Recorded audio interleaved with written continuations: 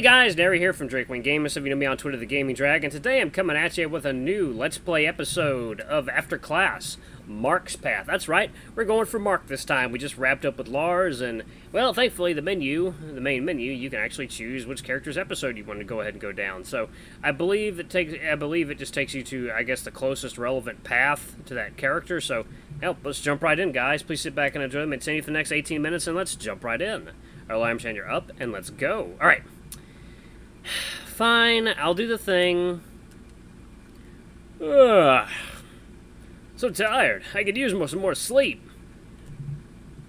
Marco, get up! It's Sunday! Yeah, I know! I know. Wait, Dad, why are you waking me up? It's fucking Sunday! Language. I'm 20 fucking one! I said language. Let's just get let's just get it done and over with. I look at the enormous mirror in my gigantic room. Fancy. Yo, name's Mark, 21, single and happy. Oh, you might be wondering why you called me Marco. My full name was Marco Jackson Thornton, but I hate that, so I requested a name change. You can change my name in the name in the name. Whoa, Mark now. Thank you so much. I've been living with my parents for two decades. Pathetic, am I right? Well, say whatever you want, but my parents are loaded. I wish I could live here forever. Not. I hate this place. I wish I could leave and run my and run away somewhere else. I live with my one and only father. How beautiful. A loving father with his obedient son living in perfect harmony. That makes me so sick. I suppose I should go undress if I want to clean myself. Are we seriously undressing? We have an audience. Fine, I suppose we have to. The world's got to see this perfection. Oh, fuck. Well, hell there. Yep, uh, mm, mm, hello there. I take off my clothes. I take off my clothes, staring at myself in the mirror. Ha! What am I still doing here? I should just sit out, sit inside and tell while waiting for it to fill up. Wow, I didn't, I didn't realize it looked that good. I suppose there's some upsides to going to the gym with Anders. Let's see. I use this, I use this moringa scented bath bomb today. I say it's like it's not the only thing I use every day. Don't ask why I use a flower scented soap, okay? It smells good. Huh! I'm seriously sleepy, still sleepy. I sit down inside as I wait for the water to fill the tub. When it finished pouring, I turn the knob to stop the water. Ah, life is good. Ugh, sleepy. Maybe I can get some more Z's. Don't fall asleep in the bathtub, you idiot. Marco! Fire! Earthquake! Apparently my dad was there, shaking me when I'm relaxing in my bathtub. And to make matters worse, I'm naked right now, and he's here. Seriously? I'm here lying down naked in the bathtub, and you're here? Seriously? I can't see anything, my son. Don't get the reason why you're upset. What you doing? What are you doing in my room, even? I got worried. I thought something happened to you. Nothing happened to me. Get out of my room. But, son, get out of my room. Alrighty. Ha! My mood's ruined. What's his problem? I should get up now and dry myself now. My skin almost feels like my grandf my grandmother's. Dad's, right? Yeah, they worry when they shouldn't. Okay, I think I have everything with me now. Let's just head out without him knowing. The only thing I like about this house is that it's big. I can sneak out of this place easily. But then again, if it wasn't here in the first place, I wouldn't have to sneak around like this. No, brother's room. I should probably tell him I'm heading out now. Hey, brother, I'm heading out now. No answer, like usual. He's so busy nowadays. I shouldn't stand here any longer. Fresh air, finally. I'm out of there, but now what? Eh, doesn't matter. I'll go wander around somewhere quiet. Maybe the neighborhood across the river will do. I'm a little confused, so... Is this... So, is this playthrough entirely from is this episode entirely from uh, his point of view? Okay. I'm guessing this is a side story. Okay. Huh. Alright, so I guess I'll call this a side story then.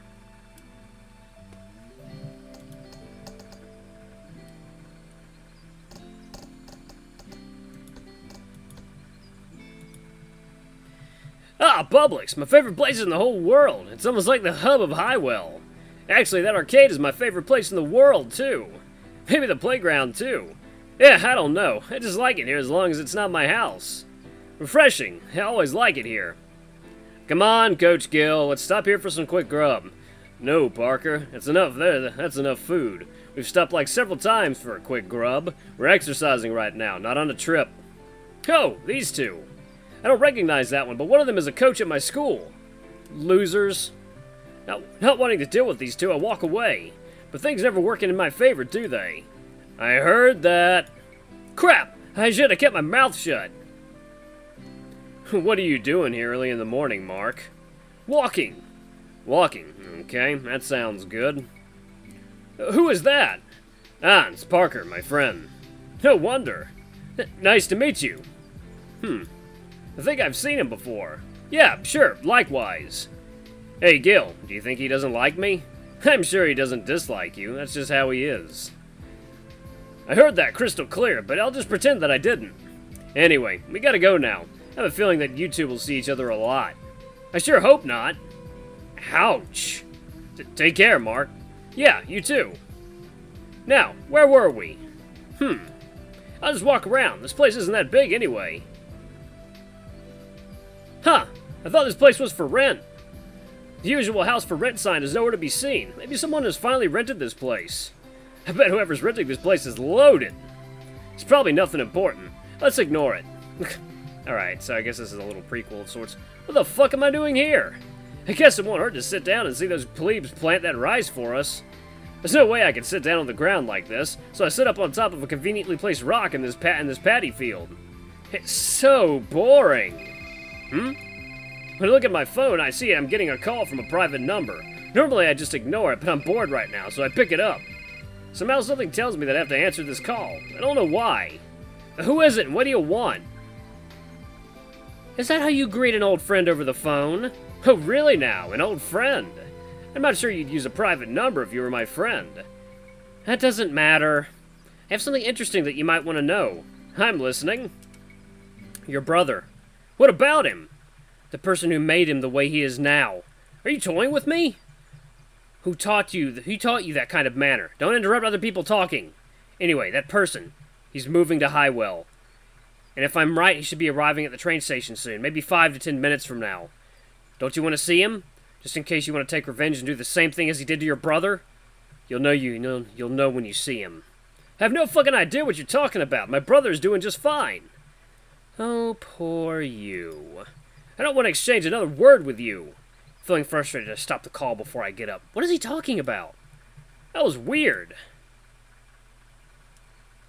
Don't don't judge me, okay? I can't help it. If someone told you that, I'd sure you do the same. They say curiosity killed the cat, but I call that bullshit. Cats have nine lives anyway, so losing one is no big deal. I should have asked what he's wearing. What am I doing here? There's no way that prank call was true. The last train left five minutes ago. Look around, checking the waiting area, and I see one guy sitting on the bench. Oh, shit, what the f... This raises some immediate questions. Okay. Of all people, he's the one that's standing out too much to me. Well, the reason is that he's bringing a lot of things with him, and he's sitting all by himself. I didn't realize that tears had been coming out of my eyes until, well, until I realized it. Probably got something in my eyes.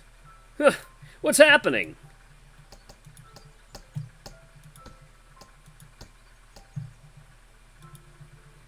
Get it together, Mark. It's just dust. Good thing that there's no one.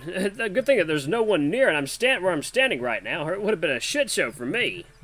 Once I'm calmed down, I look at him again and notice that he looks sort of familiar. Someone from my high school. Someone from my childhood. Whatever. That's not important right now. He's looking around, looking confused. He has that kind of dumb smile on his face, so decide not to help him.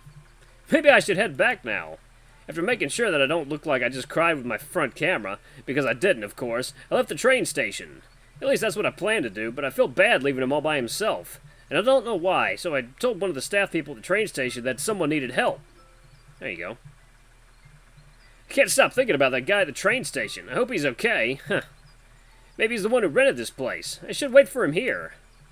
It's not like I'm interested in him or anything. I just feel like I've seen him before. Maybe not recent, but some sometime long ago. I should ask my dad later. Or not. I don't want to talk to him. I don't need the help from a wannabe investigator. I'll do my own investigation. Oh! There it is! A cab approaching this neighborhood. If my intuition is right, he might be the he might be inside. I stand in front of the broken vending machine, pretending that I'm trying to get something to drink as I wait for him to arrive. Jeez, I feel like I'm stalking someone. Well, I am stalking someone, but it's for good reasons. What kind of reasons? I, I can't tell you. Oh, speaking of good reasons, don't tell anyone that I broke this vending machine last week. It was for another good reason that I can't tell you. Thank you so much. Have a good day. You too, kid. That's him. I guess this is the place they rented for me? It's a little too big. Gah! My phone! It's me. Henry. Henry Graham? Yeah, I'm here, Mom, but don't you think it's a little bit too big for myself? I suppose that's true. Oh, yeah, I saw my school on the way here. thanks for finding me a place close to the uni, Mom. Yeah, I'll head in now. I'll talk to you later. Mama's boy, huh? Interesting. I can't believe I finally moved out. This is so exciting. He's a little bit weird. Well, I should head in now. Hmm? Crap, gotta hide. I quickly walk away from the vending machine before he notices me spying on him. It's broken? What a shame. I could have gotten something to drink easily if it wasn't. Maybe that guy thought it wasn't broken and tried to get something to drink. Thank goodness he didn't realize I'm stalking him. But why am I admitting that I'm stalking him? Well, hopefully someone fixes it later. He goes in and he goes in and I walk back to where I was. The guy's interesting. Maybe I should hang out with him sometime. He talked about seeing his school on the way here, and the only school here is Highwell University.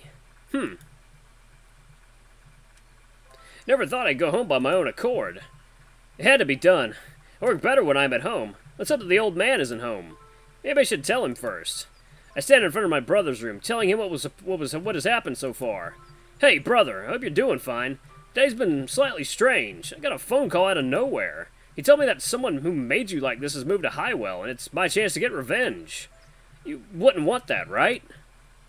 Ha! How silly! Why would you need revenge? Why would you need revenge anyway? There's nothing wrong with you. What the fuck is going on? This is giving me some weird vibes. Hmm.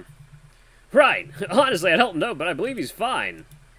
Like usual, no answer from him. Hell, I guess I'll go back to my room now. Take care, brother. As I walk away from his room, I heard a voice coming from inside. really? Really? Avenge me. Huh? Brother, is that you? No answer. I don't know if that was real or I was just hearing things, but it sounded real to me. Back so soon? Yeah, what? What do you want? No, nothing. It's not usual for you to come back this early. What happened? It's none of your business.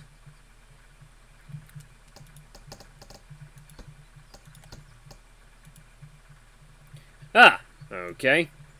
Do you... Never mind, son. I get it. You're worried and I appreciate that, but I can take care of myself. I'm going back to my room now. Please don't bother me. Ooh, that's a nice room. Damn, that is a fucking nice room. Phew! You might be wondering why I'm acting that way towards him. It makes me look like a brat, I know, but I have my reasons. Mm, excuse me. Don't let him deceive you. He might be calm and gentle at this moment, but once he loses his cool, all hell breaks loose. He did it when I was a kid, and I'll forever remember that. I won't forgive him for what he did to me. No, I can't forgive him. Anyway, enough about that. Where were we? Right, finding information about that guy. It seems like I've seen him before, but I don't quite remember where. Someone from my childhood, perhaps? Ugh, everything related to my childhood is with my dad. How am I to find it? Yeah, I'll deal with it tomorrow. For now, let's do something productive. By productive, I mean play games, laze around, and eat snacks. I'm the type to do something at the last minute, and it always works. I know one guy who writes stories. He always does it right before his deadline. And it works for him, too. Let's see what to play. Queendom Hearts 2, maybe. Gah! I should have gotten something to eat or snack on while I was around Publix. The next day. Ugh. Hmm. It's morning already? Ended up lazing around the whole weekend and didn't do any of my research. That's me in a nutshell, procrastination at its best. At this point, I should just forget about that guy. It's not important anyway, since when do I care about someone? That's unlike me. Marco, are you awake? It's Monday today. I hear you. At least he did it right today. I really hate it when he wakes me up on the weekends. Not like it matters anyway. I haven't gotten a wink of sleep since last night. Hmm. Ugh, God, he's constantly yawning. Why did they invent school? I wish I could stay in bed all day every day. I want to go home already. Because I walk so slow from the bus station, it seems like I'm almost late for school. If not already late, it doesn't matter anyway. Another reason why I was almost late for school is because I bought some snacks on my way here. Don't stand there, Mark. You're getting in people's way. Uh, oh, Coach Gil. It's quite an exaggeration. There's still a lot of space in between. Just go to your class. Yeah, yeah, I get you. Wait, aren't you late for your class right now? More or less, but speak for yourself. it happens sometimes. Be a sweetheart and say nothing about this, alright? I'll get going now, and you should too. Whatever, coach. Well, I should listen to him and head in now. Walking in, I noticed that there's someone looking around, confused. The guy's probably new, but I don't have time to show him around. I pray you good luck, stranger. Hopefully you'll find someone who's kind-hearted enough and willing to show you around. As soon as I think about that, uh, someone approached him. Well, my prayers have been answered. Amen. They're too far from me, so I can't see them clearly. Maybe it's time to get myself new contacts. Ugh. I can't help but feel like I've seen them before, though. Yeah, it's Henry. Huh, my professor is late. Nice! I heard that there's going to be a new English literature teacher, so maybe they're still sorting things out in their office. I can try taking some cat naps while I'm here without having to worry about my dad waking me up. Sleepy. Wow, someone's messaging me on Steam? Okay. Hmm. How long have I been asleep? Looks like the class is starting now. My name is Parker Stone. You may call me Mr. Stone. I'm a new professor here in Highwell, so please go easy on me. well, I don't think the details are important, but if you guys have any questions for me, please don't hesitate to ask. What kind of introduction was that? That outfit. He's the one I saw earlier. I hope he didn't know that I ignored him just a while ago.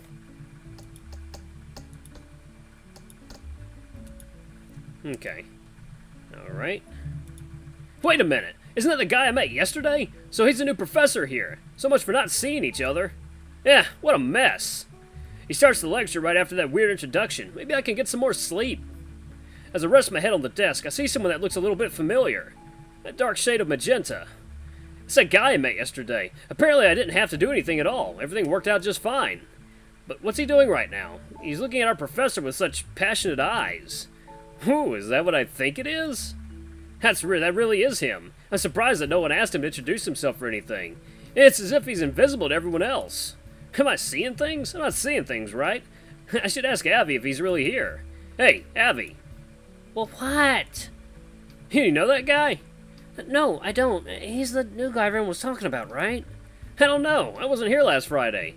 It's your fault, then. Please don't bother me. I'm not as smart as you. I need to listen to the lecture. Yeah, fine. Now I know that I'm not seeing things. I should just talk to him, you know, making a good, friendly first impression. Hey! No response. That hey, he should stop. He should stop paying attention to him. There's something better here. Me. Since calling out to him yields no result, I wave my hand in front of his face. He finally looks at me, confused. Hey, I've been calling out for you for a while now. Oh, I'm sorry. I got distracted. It strikes me as understandable that he's distracted. He certainly looks like the clumsy, distracted type. And naive, also. He's staring at me as if he was thinking of something, or that he's there's something on my face. Oh, what is it? Is there something on my face? Oh, no, you just look familiar. Do I know you from somewhere? Oh, crap. He didn't see me yesterday, did he? I hope not, but then again, I thought he looked familiar. Maybe he knows something.